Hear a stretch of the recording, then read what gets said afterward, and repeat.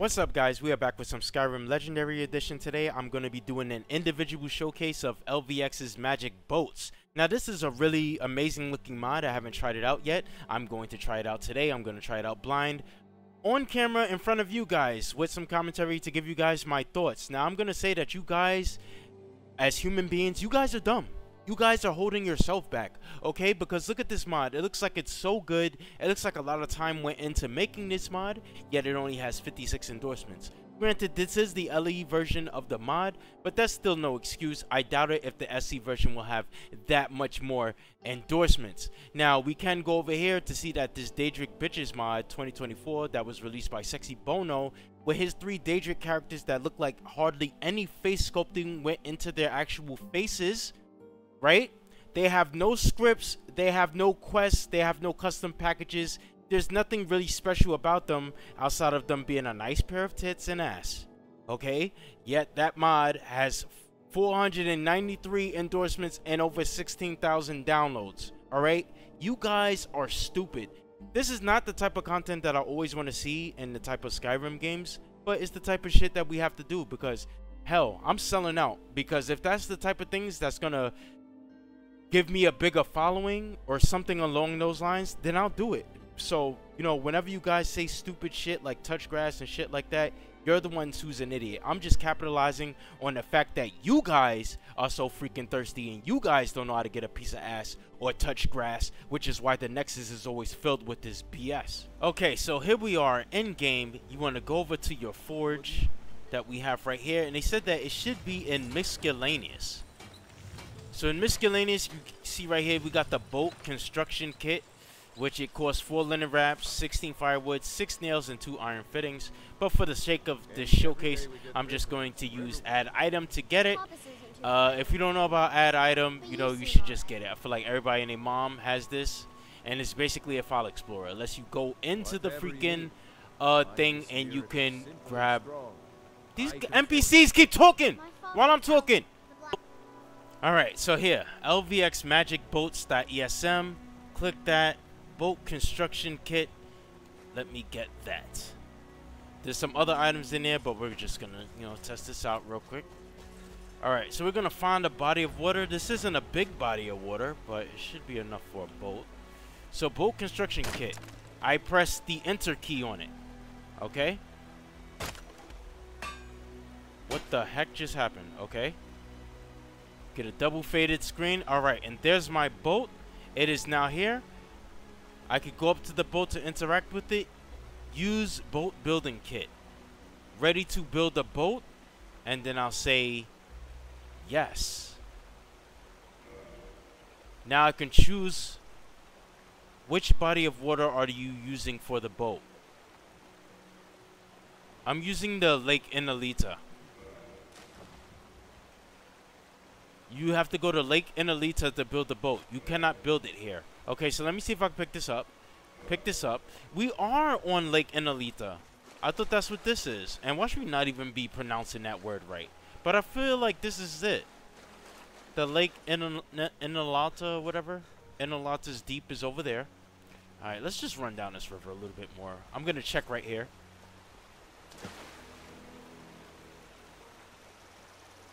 Let's drop this boating kit. Boat construction kit. Press enter. It's going to give me the double faded screen before the boat appears. Okay, there it is. I'm ready to build a boat at Lake Inalita. I am here. I am here, man. Alright, let's do the dry dock. I mean, Sea of Ghosts. Okay, let's just pick it up. I'm gonna run to the Inalita's Deep. Alright, so here we are at Lake Inalita, or Inalita's Deep, which would, I would assume this would be Lake Inalita. So let me find a nice spot. Let me find these rocks right here. Alright, so we're, go we're gonna build it on here, okay? Let's go to our miscellaneous boat construction kit. The double fade to black screen. Remember, just be patient. Alright, there's our boat. We're going to try this for the third time. Third time's the charm, right? So use boat building kit. Are you ready to build the boat? Yes, I am. On uh, Lake Ilinalta. Lake Ilinalta. In in Oh my goodness. Yes, there we go. Okay. So now I can make a rowboat or a sailboat. So let's save the best for last. Let's make a rowboat first. A, a standard rowboat, a fishing rowboat, a ship vessel. Let's let's do the fishing rowboat. So we'll turn this into a fishing rowboat. Okay, am I on? Okay, it'll put me on there. Alright, so now I could jump on top of here, hit use rowboat, cargo, equipment. Which type of cargo would you like to access? The equipment cargo. Oh, look at that. So you can store cargo in here. Alright. Weapons. Let's let's try to test this a little bit. Let me drop my uh, Wyvern ignition in here. And that's in there, and then check the cargo, and then let's check for like food. And yeah, it's a separate thing for food. So we can drop that in there. You got your separate weapons storage, and you got your food and equipment and miscellaneous and ingredient storage. Alright. So now I could press... What's the options? Let's see the options. Boat speeds, themes and waterways, deconstruct the boat. Boat speeds, cruising, default, warp, speedboat. Speed will not change until after you press the sneak button down at least once after entering or exiting the boat to initiate speed. Okay, we're not going to do that right now. Let's just use this. I know everybody's ready to see this thing be used. Alright, so I'm on this, right? And I'm moving. Look, it's kind of like, it gives me like a horse feeling. The way it's bobbing kind of gives me like that. Like I'm riding a horse type of feeling. But it is working. I'm using this on a controller. Okay. And I am moving. I am using uh, DualShock 4. I'm using the left analog to move forward and to strafe to the left and right and move backwards. Now, I'm using the right analog stick to move left and right. Now, I'm seeing uh, two boats and things going on here, right here. And this might be because of uh, enhanced camera or immersive camera, you know, where you could look down and see yourself in third person. So that might be the cause of this. You cannot use this boat in third person.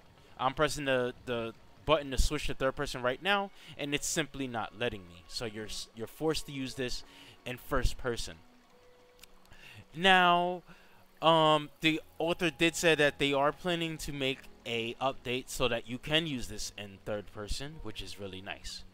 So it seems to be working really fine. I'm I'm gonna take the boat over here to the the edge of this land right here and I'm going to try to undock and see if I could like pack it up and see if my items and everything get stored.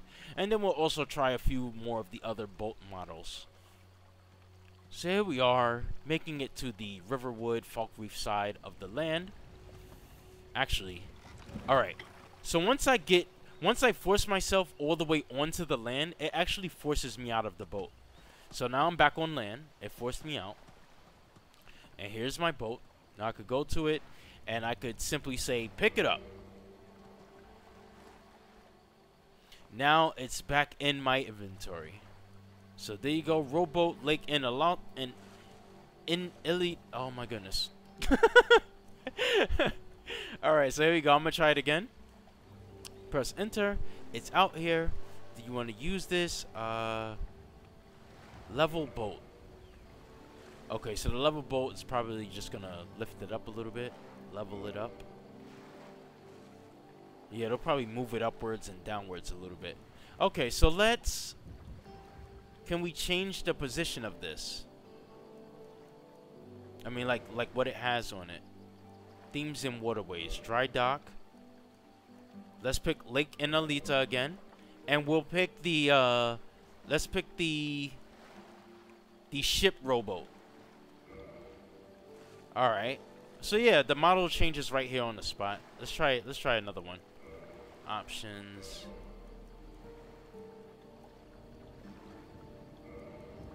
The Scarlet Rowboat. Alright, gives you a nice red one. And, uh, yeah, let me pick this up real quick. Oops, I jumped back in it.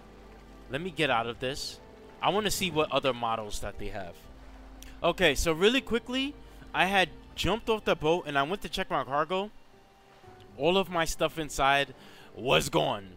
Those apples, my Wyvern Ignition Sword, all of it was gone. So, I don't know. Maybe it's because I changed the model without taking my items out first. I have no idea. To be honest, I didn't plan on using the cargo to begin with. I never really felt uh, positive about leaving you know valuable items and things like that into you know these these really uh fragile type of storages all right now we got a pirate themed sailboat okay now i want to check something real quick i want to check the storage again just in case okay let's check my weapons real quick let me drop uh anything it doesn't matter let me just drop hell let me drop the damn rowboat in here from lake in, in, Ilinalta. I'm keep butchering that name. Alright, so I'm gonna pick this up. I'm gonna pick up this boat. After I pick it up, I'm gonna drop it again. And after I drop it... Oh, you can see the sail is out now. That's nice. It has a sail on it, a working sail.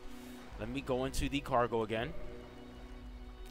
And let me see, where'd I put it? In the weapons? Okay, so it does save here. I think it's when you change the model that it actually does that. So let me go to options again.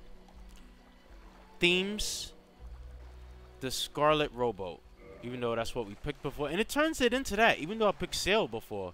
That's weird. And anyway, like I said, now that I changed it, I go to equipment, I go to weapons, and look, it's not in there. The item is gone. Okay. So yeah, I think like you, you really need to be careful if you change the model. Make sure you check all of your items out of the uh, out of the cargo first. Okay. So I'm gonna try to. I think it said deconstruct the boat. Yeah, let me do that.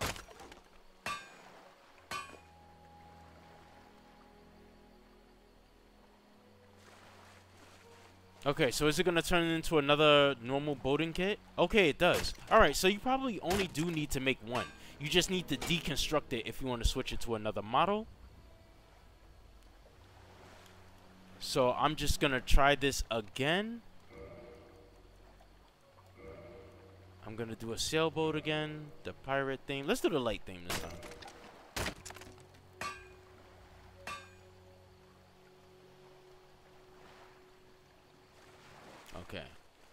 So let's use it.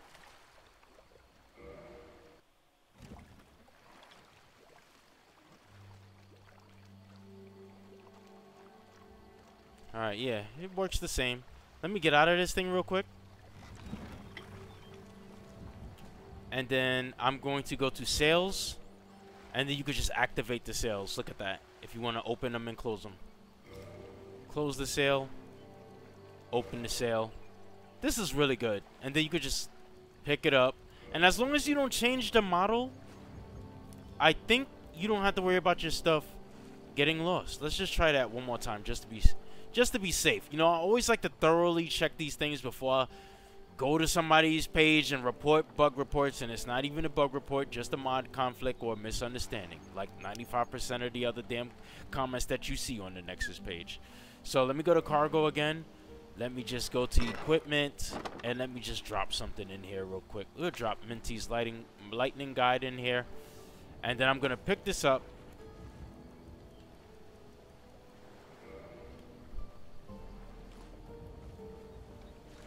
Then I'm gonna drop it down again. Then I'm gonna sail.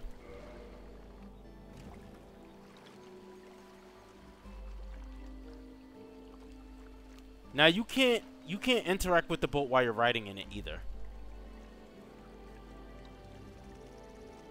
Oh, if you jump. Okay, you can jump. Alright, if you jump, you'll leave it out in the middle of nowhere, which is actually cool. Now let me check my cargo again. Just want to be safe. Equipment. There's my Minty's lighting guide. So yeah, your cargo I think should be safe as long as you don't change the, the boat's model. Okay? And you could get out of the boat by either jumping, like so, or you can do it by just driving the boat up against, like, drive it onto land for far further enough. So once you drive it on further enough, it automatically makes you get out. And then, yeah, I'm free to just pick it up, and I'm good to go. Real quick before I get out of here, it's not a huge deal, but I've noticed that this mod takes my gauntlets off. So look, I got my gauntlets on. I go here. I activate the bolt. I go to use it. Right? And after I use it, look. My gauntlets are off. And it's like you have to go and you have to put them back on. So yeah. It's just a small freaking issue. I don't know. I don't know. Alright, just thought I'd point that out. And that's it. That's pretty much how you use this bolt mod. Alright? So that was LVX Magic's Bolt by LVX Magic. I'm going to leave the link for this mod in the description below. Uh, if you want to, you know, support him, leave an endorsement. He did say that leaving endorsements will, um, you know, motivate him to finish this mod or whatever. I'm going to be tracking this mod. I will not be using this until there's third person support because I'm a third person player. Once there's a third person player, um, third person support, I would definitely probably do a playthrough with this mod installed. So, if you're still here, thank you for watching. Uh, once again, I'm going to leave this mod in the description below. Consider subscribing to me on YouTube right here if you haven't already. Check out my Patreon. I release mods over there. And if you want to just support me further or consider supporting me further in YouTube Super. All right. So, thank you all for watching if you're still here. Love you all. Peace.